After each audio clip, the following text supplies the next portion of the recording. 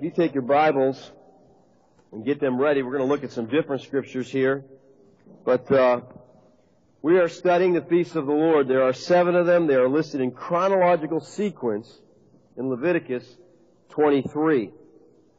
Leviticus 23 4 says, These are the feasts of the Lord, holy convocations, which you shall proclaim at their appointed times. Now the word feast there literally means appointed times. And the word holy convocation means rehearsal. So in other words, the feasts of the Lord were appointed times of worship for Israel that would serve as dress rehearsals in God's prophetic calendar. God is giving us a picture here, visibly, of redemptive history. And things that happen in Israel in the natural parallel or point to give us a picture of spiritual realities within the church. Now, fundamentally, these seven feasts represent and typify the sequence, timing, and significance of the major events of the Lord's redemptive career. They commence at Calvary where Jesus voluntarily gave himself for the sins of the world, which was Passover when it happened. And they climax at the consummation of the Messianic kingdom at the Lord's second coming, which is the festival of booths or tabernacle. These seven feasts depict the entire redemptive career of Messiah. Now, the study of these feasts is a, really a study in typology. Typology is the interpretation of Old Testament events, persons, and ceremonies as signs which prefigure Christ's fulfillment in the new covenant with the church. And typology involves identification both of a type, a figure, a concept, a ceremony, or event as an Old Testament precursor and an antitype, a New Testament historical figure or event that follows and fulfills the promise of the type. So in the Old Covenant you have the type. In the New Testament you have the antitype, which is the fulfillment. For example, take your Bibles and turn to Hebrews chapter 10. I want you to look at a couple passages of Scripture that, that give us a, an indication of this idea of typology. Hebrews 10:1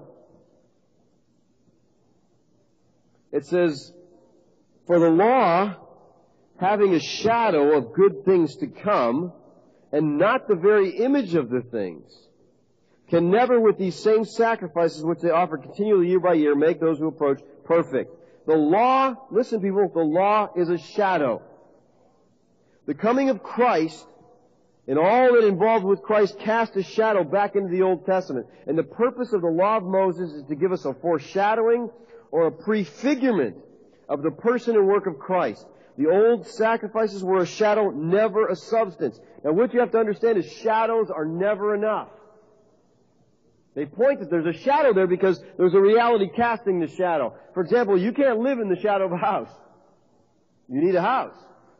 But the shadow there is cast because the house casts the shadow. And we see these shadows in the Old Testament. and we get to the New Testament, we see the reality. Now this is what always has confused me about dispensational theology. In dispensational theology, you got the shadow, then you have the fulfillment of the shadow, then guess what happens? We go back to shadows. Because they're going to go back in the millennium to sacrifice and sacrifices again. And I'm like, I never could buy that. As a dispensationalist, I couldn't buy that. Galatians speaks against that. Hebrews speaks against it. You know, it's shadow, it's type, anti-type. You don't go backwards. We're not, after we have Christ, and we're not going to go back to having shadows again. And notice what he says in Hebrews. He says the law is a shadow of the good things to come. Now the word come there is the Greek word mello. You all know what mello means by now, right? It's about to be. It's at the point of. The good things refers to the full consummation of the new covenant. He said it was about to come. See, they weren't, they were about to come in AD 70. But the point of this writing, they hadn't come yet. They were just a few years away.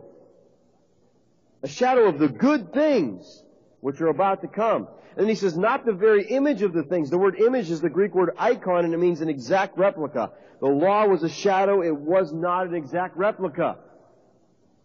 Now, according to Emory Elliott's New England Puritan literature, typological hermeneutics involve explicating signs in the Old Testament as foreshadowing events and people in the New. this produced interesting consequences. For example, Jonah's three days in the whale typologically parallels Christ's three days in the tomb. Thomas Hartwell Horne explains in an introduction to the critical study and knowledge of the Holy Scriptures, the text that was standard reading for Brit- British divinity students. He says, a type in its primary and literal meaning simply denotes a rough draft or less accurate model from which a more perfect image is made. But in the sacred or theological sense of them, a type may be defined to be a symbol of something future and distant, or an example prepared and evidently designed by God to prefigure that future thing. What is thus prefigured is called the antitype. Now Paul, I think, declared this fundamental principle when he said in 1 Corinthians 15:46, however, the spiritual is not first, but the natural, and afterwards the spiritual. But here's the problem. Most people get stuck in the physical and they want physical, physical, physical. The physical signs in the old covenant portrayed spiritual realities in the new. God revealed the mysteries of the eternal plan of redemption through the usage of temporal shadows. Turn with me to Galatians. Let me show you. I think this is clearly demonstrated in Galatians. We're told in Galatians that Abraham had two sons, and thereby are given a glimpse of the significance of spiritual allegory and typology. This, folks, is a, just an incredible passage here in Galatians that opens our eyes to many things in this whole idea of a typological hermeneutic. Galatians 4:22. It says, For it is written that Abraham had two sons, the one by a bondwoman and the other by a free woman. Is this, did this happen? Did Abraham have two sons? Yeah, Abraham, literal Abraham had literally two sons, right? Who were they? Isaac and Ishmael, right? He had two sons. One born from Hagar in the ordinary, normal way. She just had a son like people have kids. Sarah had it in a miraculous way, right? She's barren. Never expected to have kids. Way past childbearing years. All of a sudden, God says you're going to have a child. It's miraculous. One child's born of promise, one in the natural. Alright, we just got two kids here. Look at verse 23. He who was of the bondwoman was born according to the flesh, just a natural way. Ishmael was born like any other kid was born. But he of the free woman through the promise. See, Isaac came because of a promise that God made. Now watch verse 24. Which things are symbolic? Now wait a minute, they're literal. These things happen. But they're symbolic, physical happenings in the Old Testament. God said they're symbolic. He says, for these are two covenants. We got two kids here. These two kids, Isaac and Ishmael, are representative of two covenants. That's what the Bible says. Two covenants. The one from Mount Sinai, which gives birth to bondage, which is Hagar. So Hagar and Ishmael are related to the old covenant, a covenant of bondage. He says, for this Hagar is Mount Sinai in Arabia and corresponds to Jerusalem, which now is. Not now is. Okay? Now is when this was written to the Galatians, which now is. Which now is gone. Alright? That Jerusalem that now is is not now is. It's gone. It's history. Alright? But then it was now is. It was a physical, literal Jerusalem that was there.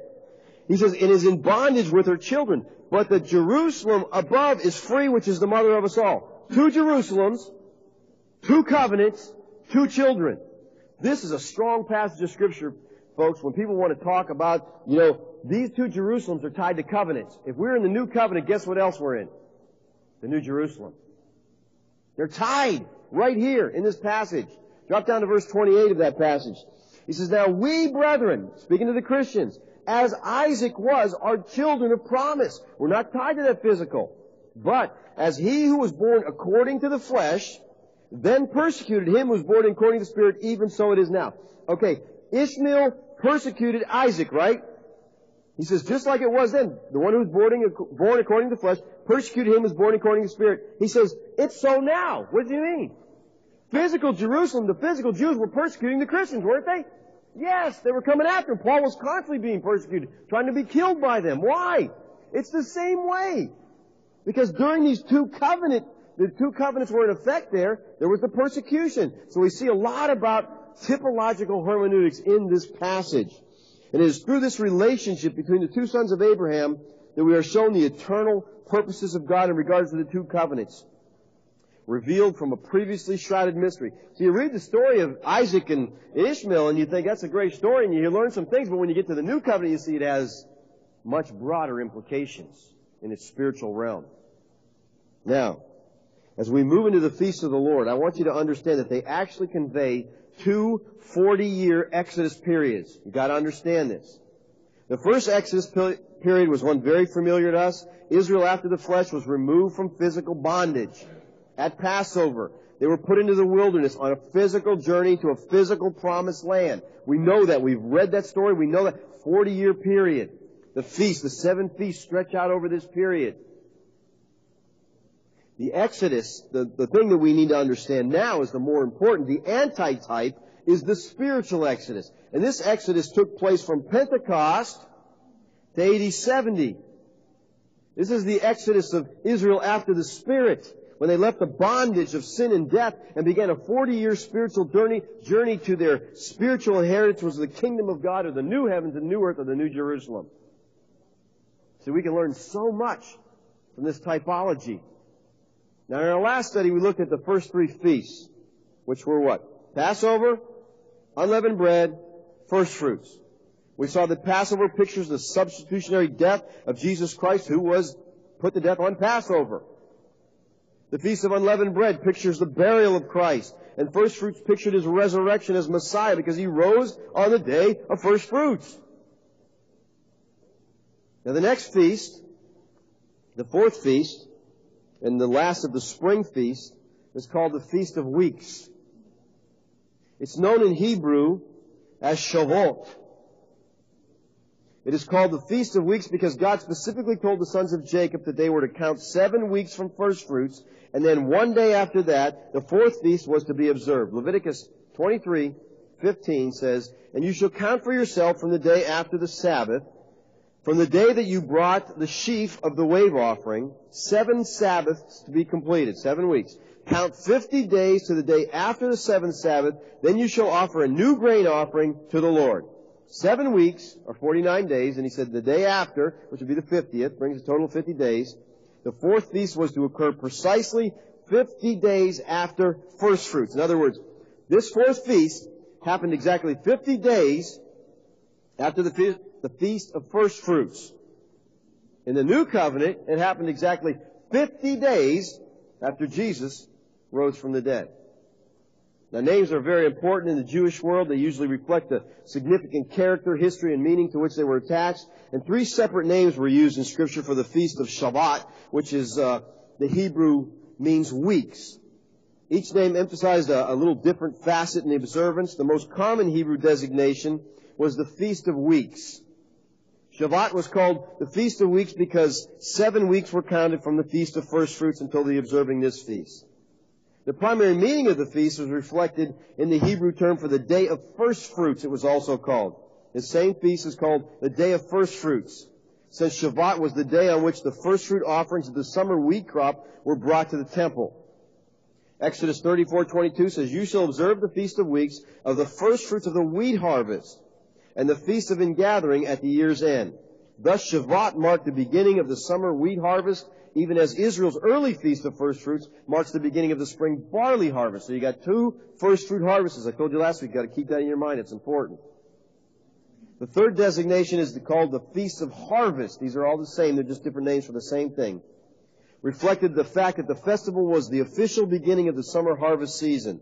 In addition to the biblical designation, the Talmud and Josephus refer to this festival as Atzeret, meaning conclusion. They viewed Shavuot as the conclusion of the Passover season and the seven week spring harvest since there was no other major Jewish holidays until autumn. Now in the Greek language, Shavuot was known as Pentecost, meaning 50th, since it was celebrated on the 50th day from the Feast of First Fruits. Now 50 days has a significance, or 50 has the idea uh, of something in Scripture. What is the 50th year in Scripture? The Jubilee year. What happens in the Jubilee year? All debts are canceled, captives are set free, right? You know, AD 70 is a Jubilee year. We're going to get to that in the future, though. Just a coincidence. Okay? Thus, the Feast of Pentecost had four main names. It's called the Feast of Weeks, the Feast of Harvest, Pentecost, the Day of First Fruits. Leviticus 23:15 says, "You shall count for yourself from the day of the Sabbath, and that day you brought the sheaf of the wheat offering, even seven Sabbaths shall be completed." Now the measure of barley, which was to be brought to the temple as a first fruit offering on the Feast of First Fruits, was known as an omer. And since the counting of the days was to begin with the offering of the Omer, this 50 day period is known as the Omer. So you'll also hear it recalled through that whole period, time frame, called the counting of the Omer. So you read all these different names. Let me tell you, just remember it as Pentecost. Alright? It'll be a lot simpler to understand that. Let me give you a little history of the Feast of Weeks. First of all, let me ask you this. Does anybody know what happened on that first Shavuot? Something significant that happened in the first Pentecost. What happened? What did God do on that day? Hmm? Nobody knows. Good. You're going to learn something today. Okay, that's, that's in the new covenant. In the old covenant, the law was given. The law was given on that first Pentecost. In the third month after the Jews left Egypt, they arrived at, at the Sinai desert and they camped opposite Mount Sinai. Moses was then told by God to gather the Israelites to receive the law. Uh, Exodus 19 verse 1 says, In the third month, after the children of Israel had gone out of the land of Egypt, on the same day they came to the wilderness of Sinai. For they had departed from Rephidim and had come to the wilderness of Sinai and camped in the wilderness. So Israel camped there before the mountain. And Moses went up to God, and the Lord called to him from the mountain, saying, Thus you shall say to the house of Jacob, and tell the children of Israel, You have seen what I did to the Egyptians, how I bore you on eagle's wings and brought you to myself. Now therefore, if you will indeed obey my voice, and keep my covenant, what covenant? The one he's about to give you right now, alright? Keep my covenant, then you shall be a special treasure to me above all the people on the earth, for all the earth is mine. And you shall be a kingdom of priests and a holy nation. Does that ring a bell? Kingdom of priests? Holy nation? These are the words which you shall speak to the children of Israel. So Moses came and called for the elders of the people and laid before them all the words which the Lord commanded him. Then all the people answered together and said, All that the Lord has spoken we will do. So Moses brought back to the words of the people to the Lord. This is really interesting in Hebrew. The Israelites answered, all that the Lord has spoken we will do. In literal Hebrew, it reads, it reads this way. We agree to do even before we have listened. That's kind of nuts, isn't it? Yeah, we'll do it. No matter, I don't care, we'll do it. They didn't even hear what he had to say. Well, yeah, we'll go along. That's no problem. Well, Moses then gave the Jews two days to cleanse themselves, wash their clothes, prepare to receive the law on the third day. At the same time, Moses told them not to come too near to Mount Sinai. From early morning, dense clouds covered the peak of the mountain. Thunder and lightning were frequently heard and seen. The sound of the shofar, the ram's horn, came very strong. And the top of the mountain was enveloped in fire and smoke. Can you picture this? I was out yesterday during the thunderstorm. It's just, I love storms. But the power that is there. I mean, last night when I got in bed, I had just crawled in bed, and I mean, a thunder hit and it just, the windows vibrated, the house shook, and the next minute I was sound asleep. I don't know how long it went off for, but I got at least one good sound in there before I fell asleep. But I mean, it's awesome. But you can you imagine this mountain? They're, they stand at the base of the mountain. The mountain, the top of the mountain's on fire. There's smoke all over. It's just quaking and making this noise. And I mean, God is coming to meet with the people. Exodus 19:18 says, "Now Sinai was completely in smoke because the Lord descended upon it in fire." Its smoke ascended like the smoke of a furnace, and the whole mountain quaked greatly. And when the blast of the trumpet sounded long and became louder and louder, Moses spoke, and God answered him by voice. So Moses goes up to the mountain. As he neared the top, a mighty voice announced the Ten Commandments to him. Now, no date is actually associated with this in the Bible. Yet you ask any observant Jewish person concerning Shavuot, and he will answer that it's always celebrated 50 days after the Feast of First Fruits, because Shavuot was the giving of the law. So a very notable historical event happened in that first Shavuot, and it was the giving of the Ten Commandments. The Old Covenant came to Israel on that day. Israel came to Mount Sinai on the third day of the third month. The Lord visited the people three days later. Therefore, the law was given by Moses in the third month of the biblical religious calendar, which is the month of Sivan, on the sixth day of the month. This day is exactly 50 days from the crossing of the Red Sea. Shavuot is called the season of the giving of the Torah in Hebrew because this is liter- the literal day that God revealed himself to the people of Israel as they stood at the base of Mount Sinai. So here on that first Pentecost, the children of Israel are meeting with God and God enters into a covenant relationship with Israel. Now the new covenant antitype is Pentecost. Now when you think of Pentecost, what do you think of? What comes to your mind? Word association, Pentecost. What? Fiery tongues, alright. What else? Gifts of the Spirit. What else? I hear Pentecost. I think of Acts 2. I think of tongues. I think of charismatics. You know, these are all things that come to my mind when I think of Acts 2. You know, they're all connected. But here's what we need to think. Here's what we should think of when we hear the word Pentecost. Pentecost was the beginning of what? Come on, it's not a trick question. It was the beginning of the new covenant. It was the birth of the church. Pentecost. God, the promised new covenant, had arrived. And it showed up when? On Pentecost, exactly 50 days after the resurrection. In the old covenant, the type was the law was given. God entered into a covenant relationship with Israel on Sinai. The new covenant anti-type. Exactly on that very same day, on the day of Pentecost. What happened? Acts 2. Look at Acts 2. Now these are all just coincidences, folks, that all this happened this way, okay? Just strange coincidence. They all happened exactly the same time frame. It's going to really get coincidental in the coming weeks. Acts 2. Acts 2 says, when the day of Pentecost had fully come. What day of Pentecost? That's, that's the, what we've been talking about. That's one of the seven feasts of the Lord that Israel had. It was the day of Pentecost when this happened. It was fully come. They were all one accord in one place, and suddenly there came a sound from heaven as a rushing mighty wind, and it filled the whole house where they were sitting. And there appeared to them divided tongues of fire as one sat on each of them. And they were all filled with the Holy Spirit, and they began to speak with other tongues as the Spirit gave them utterance. Now, Jerusalem normally had a population of about 600,000.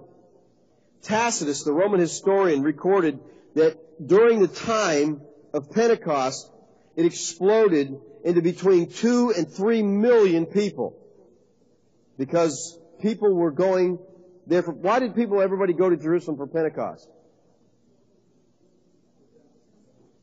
It was one of the required feasts that you had to go to Jerusalem for. There was three of them. It was one of the required feasts you had to go there for. So that the house, I mean, it's just full. It was so full that it said people were sleeping on the flat roofs of the houses. They were camped outside the walls of Jerusalem, and they were given hospitality by the people within the city. Now their presence in the city on the three main festivals was in obedience to the Torah. God commanded it. Deuteronomy 16, 16, it says, Three times a year, all your males shall appear before the Lord your God in the place which he chooses. At the feast of unleavened bread, the feast of weeks, which is the one we're talking about now, Pentecost, and the feast of tabernacles. They shall not appear before the Lord empty-handed. So Shavuot was particularly important as a Jewish feast in the Bible days. It was one of the seven divinely appointed feasts that were given to Israel that three, these, one of these three feasts were decreed of the Lord as solemn feasts and they had to go to appear before the Lord.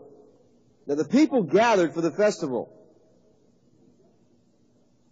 And it was uh, kind of all for maximum effect that the Lord chose this time to fulfill prophecy.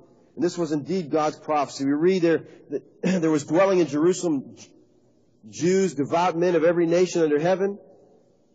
They may have come for the festival, but our Lord had something else far more spectacular in mind for these people. This was the day they were to become the first fruits. They were to become members of the new church, God's church, the church of Jesus Christ. And there was a new message here for a new people. It would be heard in every language by every people. They were to speak as the Holy Spirit gave them utterance, the wonderful, life-saving, life-changing words of the new covenant. Jerusalem is packed with people. And all of a sudden, this full city, on the day of Pentecost, God breaks forth with a new covenant and they're proclaiming the gospel of Jesus Christ. And people are coming to Christ. And then they're leaving and going back to where they came from carrying the gospel message. And the gospel literally is exploding in this territory. So you have the type and you have the anti-type. Fifty days after the first Passover in Egypt, the law was given to the nation Israel on Mount Sinai, written upon tables of stone. Fifty days after the final Passover was sacrificed, the law was given to the Israel of God, written upon the hearts by the Spirit of God. Hebrews 8:10 says, "For this is the covenant I will make with the house of Israel after those days," said the Lord. "I will put my laws in their mind and write them on their hearts. I will be their God, and they will be my people."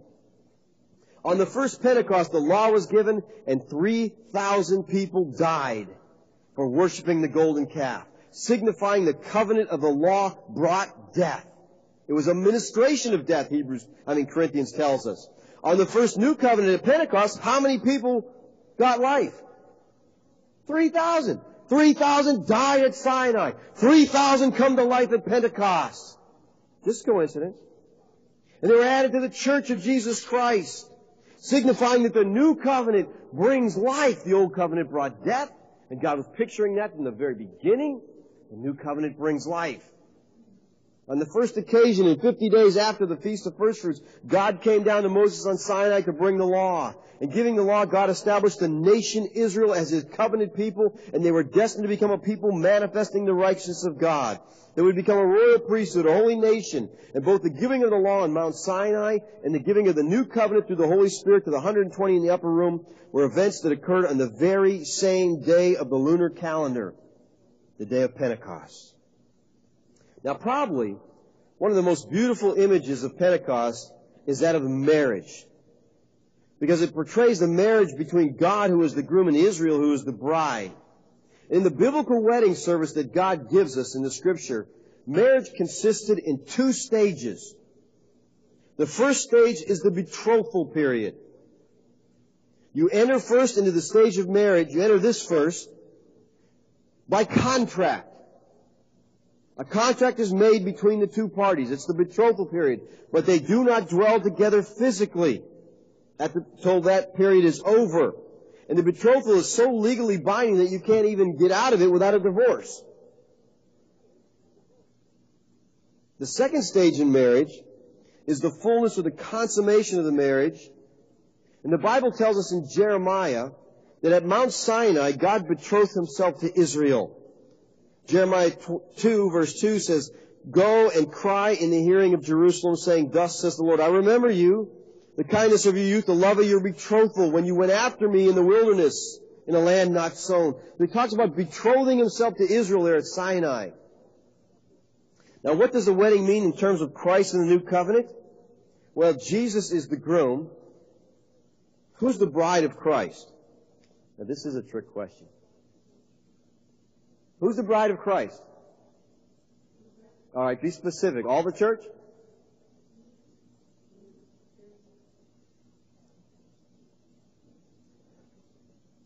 We are the offspring of that bride. But let me, let me try to get, let me try to lay this out for you. Those first century believers were betrothed to Christ. At Pentecost, he entered into a betrothal period with the first century church. He came so that whosoever would put their trust in him would receive forgiveness of sins. And it included both Jew and Gentile. In the ascension, Christ went to heaven to be with God the Father. But before he left, he promised his first century disciples what? That he'd come back, right? John 14, 3 says this, If I go to pre- prepare a place for you, I will come again and receive you to myself, that where I am, there you may be also. Who is he talking to? He's talking to the eleven at that point. Judas had already gone. If you read up in the text, Judas, you know, he took off. He's talking to the eleven. He says, I'm coming back for you. He was leaving them. Where was he going? He's speaking of his death, his resurrection, and his ascension. But he promises to come back and receive them to himself. He's referring to his second coming. And during the transition period, which I like to refer to from Pentecost to Holocaust, alright? From, eight, from Pentecost to 80 70, which was Holocaust, Christ didn't dwell with his disciples. He left them. Why? Because it was the betrothal period. And during the wedding, the, the Hebrew idea of marriage, you don't dwell with them during the betrothal period. He was betrothed to them that period, but he was going to come again to get his bride. And see, when you understand this concept, it makes the fact that Christ has not returned yet ridiculous. This betrothal period has been 2,000 plus years and Christ still has not come back and got his bride to dwell with her. Therefore, the first century believers in Christ were spiritually betrothed to Him. They were to enter the full marriage and dwell with Him when He returned for His bride. So the giving of the Torah at Mount Sinai involved the Aaronic priesthood, the sacrificial system, the tabernacle, the Sabbath days, the festival, the civil ceremonial laws, the Ten Commandments. These things were given by God as a shadow of the good things to come, to teach us about Jesus and the redemptive work of God. Shavuot was the birth of the congregation in the wilderness. The things given at Mount Sinai were divine and they were from God, but they show in a physical way to enable us to understand spiritual truths that God wanted to communicate to us as church. So God gave Israel a covenant, the Torah, the services, the oracles of God, the promises, which were divine at Mount Sinai. He did this. Why? To teach us about Christ. Psalm 40 verse 7 said, Then said I, Behold, I come in the scroll of the book. It is written of me. The whole Old Testament's about Jesus Christ. You know, the saddest thing was when he showed up, the people who studied the Old Testament missed it. They were so caught in the type, they couldn't move on to the anti-type. They couldn't move on. Now, if you remember a couple of weeks ago when we did this first lesson, I, I said to you at Pentecost, something different happened that seems a little weird in the offering. What is it about the offering that's a little weird in Pentecost? Hmm? No? No one knows? You don't remember the question I asked you? At Passover, leaven was absolutely forbidden. In the regular meal offering, no leaven was permitted. And we saw in our last study that leaven was a picture of sin.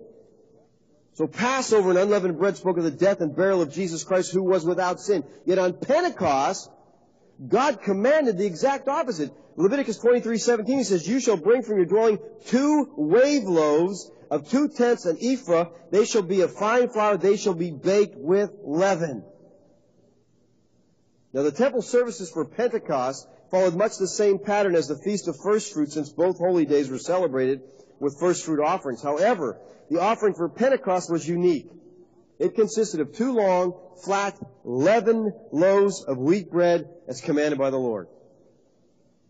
Now the two loaves were not burned because the Lord had forbidden leaven to come on the altar. It says, you shall burn no leaven nor any honey in any offering to the Lord made by fire.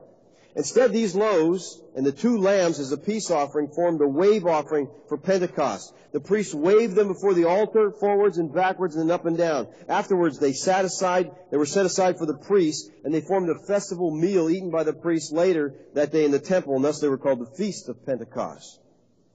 So on Pentecost, they were to wave two loaves of leavened bread. What do these loaves typify? What, any clue? Two loaves. What happened at Pentecost that was so unique? When the church began. What was so unique about the church? What was different about the church in Israel? It was no longer Jew only. It was Jew and Gentile. God's bringing both these people into the church. That's what he says. God so loves the world. And people say, well, that means everybody. It doesn't mean everybody. He didn't like Esau. It can't mean everybody. And I don't think Esau's the only exception. But he loved the world, meaning it's not just Jews, it's Gentiles. Two loaves, Jew and Gentile. Why leaven? Why is there leaven picturing sin in the two loaves of the church? Is the church filled with sin? Listen to this. Listen to the new covenant. Promise of the new covenant. Hebrews 8:10. This is the covenant I'll make with the house of Israel. He's quoting from Jeremiah. I'll put my laws in their mind. I'll write them on their hearts. I'll be their God. They'll be my people. None of them will teach his neighbor and none his brother saying, know the Lord, for they'll know me from the least to the greatest. For I will be merciful to their unrighteous. Their sins and their lawless deeds I will remember no more. No more are going to remember their sin. Why? Because God, in the new covenant, is going to put away sin. Put away sin. One of the features of the new covenant is I will remember their sins no more. If you go back to Daniel, Daniel 9 and verse 24, he says, seven weeks or 70 weeks are determined for your people and for your holy city to finish the transgression, to make an end of sins. Daniel was told that 70 weeks had been determined on the people Israel, the city Jerusalem, and by the end of this prophetic time period, God promised that six things would be accomplished, and one of the things was that Daniel was told that there would be an end of sin. Ezekiel prophesies at the time that the end would be made in Israel's sins. In Ezekiel 36, 24, he says, I'll take you from among the nations and gather you out of all countries. I'll bring you into your own land. I will sprinkle clean water on you and you shall be clean. This prophecy is synchronous with the 70th week of Daniel. This is the promised new covenant. So why is the church pictured as having leaven in it when the very promise of the new covenant was to remove their sins?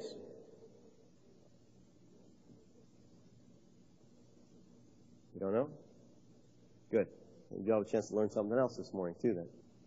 I believe it is because the new covenant was not totally consummated at Pentecost. It was introduced. It was a betrothal period. Pentecost. The church is born. But the old covenant still existed. Did it not? The old covenant was still existent until AD 70. Hebrews was written approximately 62 to 64 around there. And in Hebrews 8:13, he talks about the old covenant as decaying and waxing old, ready to vanish away.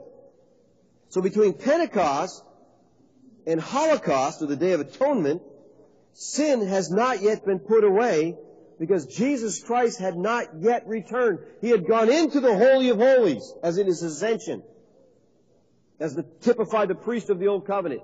But Israel never had any confidence of any forgiveness of sins until that priest came out of that temple. And Jesus had not come out of the temple yet in his second coming. And I think it's safe to say that most believers think redemption was completed at the cross. But this is not what the Bible teaches. Redemption is tied to the second coming. Luke 21, 27 says, Then they will see the Son of Man coming in a cloud with power and great glory. Now when they see these things begin to happen, and Luke ties this with the destruction of Jerusalem. Look up, lift up your heads because your redemption is drawing near. When Christ returned, He brought redemption. As long as the old covenant existed, the believers were not perfected. The believers did not have access to God because their sin had not yet been dealt with. Hebrews 9, 8 says, the Holy Spirit indicating that the way into the holiest of all was not yet made manifest while the first tabernacle was still standing. As long as that old covenant was exist, in existence, the way into the holiest had not yet been made complete. Man was still dealing with sin. He couldn't get in there. They weren't made perfect under that old covenant. And because they were not perfect, they couldn't enter in God's presence. But once the old covenant was destroyed, it is a picture that God is saying that's over, that's done, man is perfected, he has, sins have been forgiven, he can come into the new covenant. See, what the saints had in the transition period was the down payment of what we now possess. They were betrothed, were married. Ephesians 1.13 says, In Him you also trusted after you heard the word of truth, the gospel of your salvation, in whom also having believed you were sealed with the Holy Spirit of promise. Now listen to what he says about the Holy Spirit. Who is the guarantee of our inheritance until the redemption of the purchased possession. You know what that Holy Spirit was? He was a wedding ring.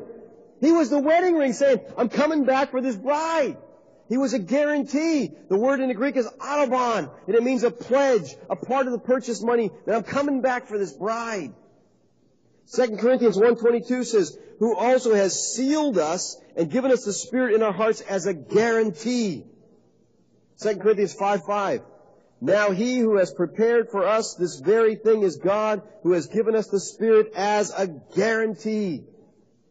See, the transition saints had in pledge what we have now. They had a guarantee of what was to come. Well, we have it. Christ betrothed them and then he had to come back and get his bride. And that's the picture of Revelation. He comes out of heaven and Jerusalem comes out as a bride prepared for her husband. He receives his bride. and a completion was made. They entered in the fullness of redemption. Their sins were forgiven.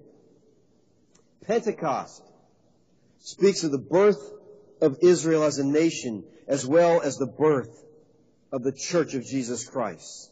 And I think the two loaves represent Jew and Gentile in one church of Jesus Christ. Even though both Israel and the church are chosen by God and are holy to Him, sin was still found in Israel and sin still existed in the church in the transition period. It had not been put away. Passover and unleavened bread speak primarily of Jesus, who is without sin, but Pentecost speaks of Israel, the New Testament church, where sin still did exist. To natural Israel, Passover was their freedom from bondage of Egypt. Unleavened bread was the separation from the land of Egypt into the immersion into the Red Sea and the cloud in the wilderness. Finally, God led the people to Mount Sinai, where they experienced Pentecost, and God revealed himself to the people in a deeper and greater way than he ever had done previously, and he entered into a covenant relationship with them at Sinai. Now the spring festivals were fulfilled by Jesus, who was our Passover lamb. He died on the day of Passover.